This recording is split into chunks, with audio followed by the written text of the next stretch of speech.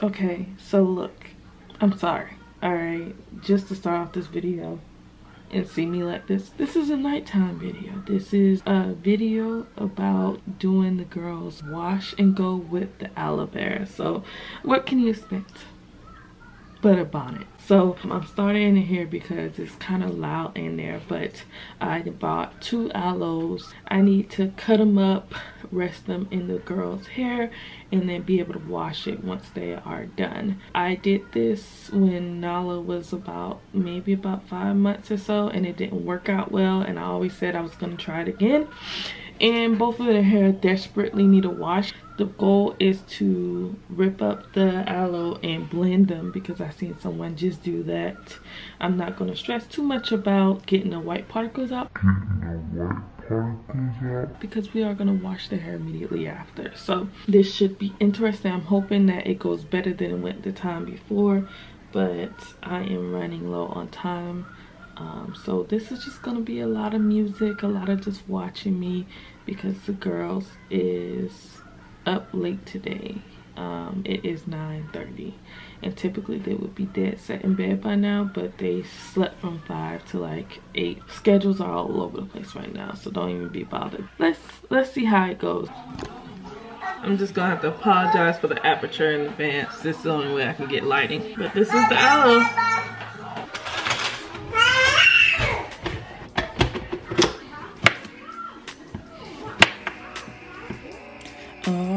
So here we are with a little bit of voiceover. Now, um, I'm sitting here cutting up this aloe and it's kind of unexpectedly hard. Am I supposed to get all this out of the little tip part?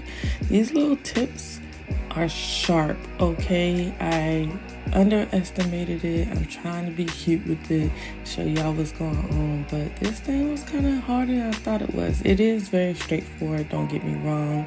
There's little side pieces there, but getting the little tip part, I just really wanted to like be like, nah, let's just do the bit pieces because the little cactus pieces ain't where it's at. But we gonna get it all out and doing the little sides and everything like that. As you will see, I will end up just making larger pieces. I think it took a lot of time just doing this very precise pieces, but uh, hindsight, the next time I do it, I think I'll be a little bit better at it.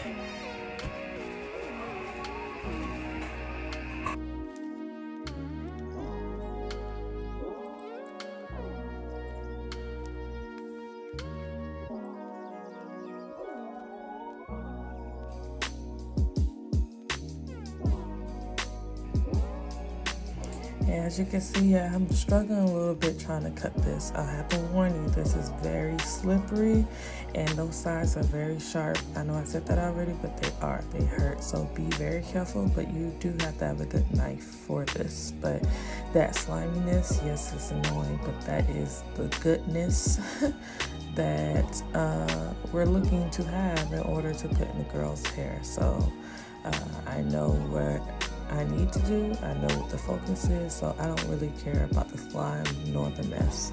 And by the way, that yellow stuff does come up. Now, this is the oil that I decided to put in the aloe just to help hydrate. Um, I tried to start it in clear. I can't because I don't have no blades in it.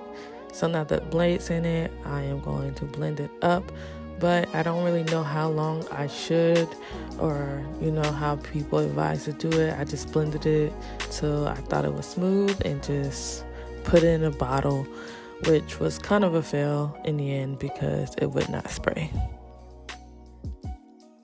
So then I basically just decided to start pouring on the head because it just seems a lot faster. Again, this was really late at night, so I am trying to kind of rush and do this. So that's why the lighting's not the best. They're not taking naps they're supposed to, but we're working with it. Kids go through transitions. But as you can see, the aloe is making her hair really shiny, really moisturized, very curly. It's just making it have this little slip in it that is just making it easy for me to actually do her hair. She's not as bothered as she usually is. So in this moment, I am very, very pleased. Yes. And I really wish I could have kept this in her hair even longer in hindsight. But do you see the curls popping? Do you see the hydration? Do you see the shine? Yes, yes, girl. Look at the curls. Yes. Ooh.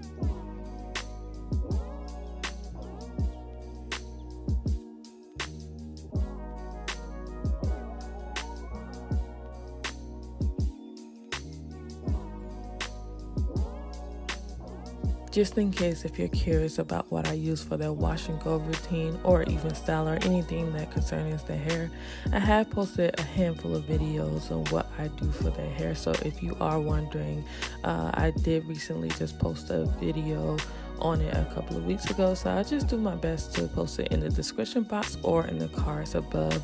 I don't really want to flood content of things I've been doing, but just in case if you don't know, if you click on the person's name who you want to watch the latest videos or any videos they had posted in the past, um, just click on their name and generally at the top you'll see a tab called videos and you can just kind of click that and scroll through all their videos to see anything they ever posted pretty much. So that would kind of help see if uh, you have any questions about anything. Nine times out of ten that person or even myself have actually made a video on it.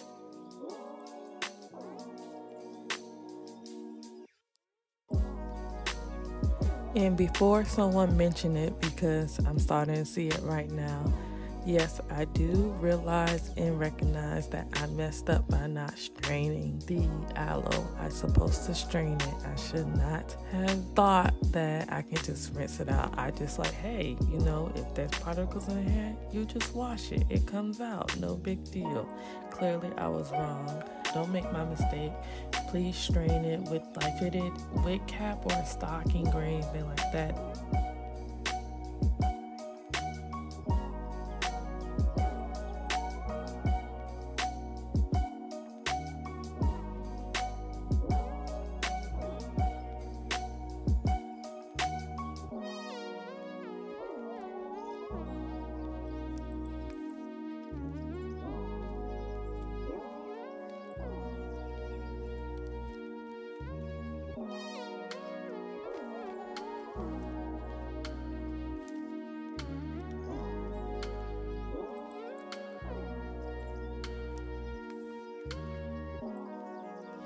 all right so it is actually a few days later and I am adding to this video because after washing the girl's hair it didn't work out in my favor so I kind of gotta redo the whole aloe thing.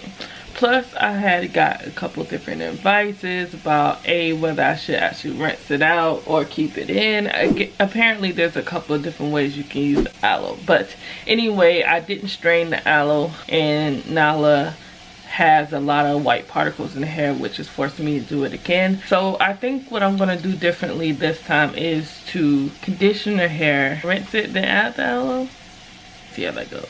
But let me show you what happened. So as you see it's very liquidy once it settles. So i seen someone saying that you kind of got to blend it a little bit to let the aloe come out so I'm gonna kind of pulsate it and then see how that goes. See how it's getting like foamy? That's what you want.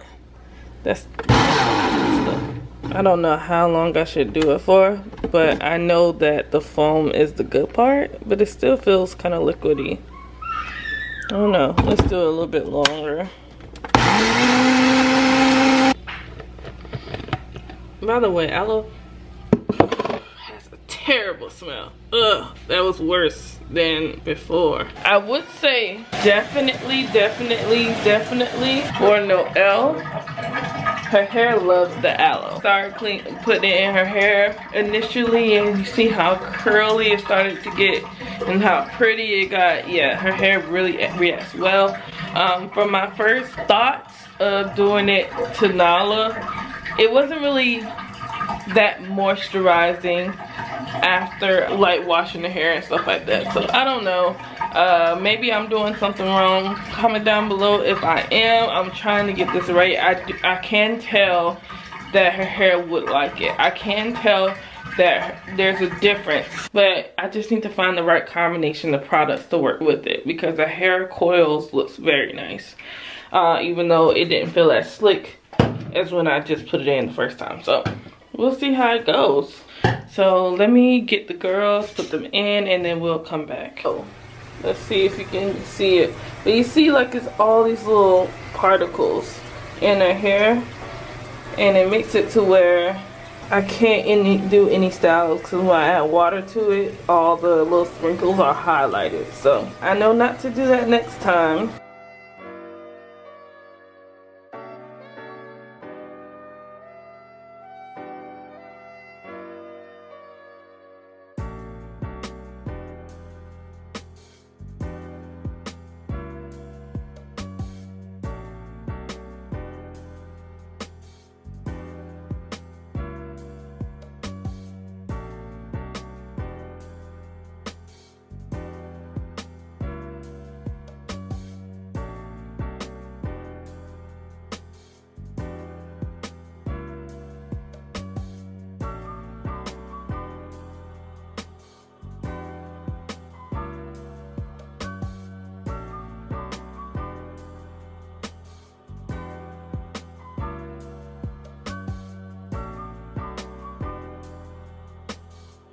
So we are done.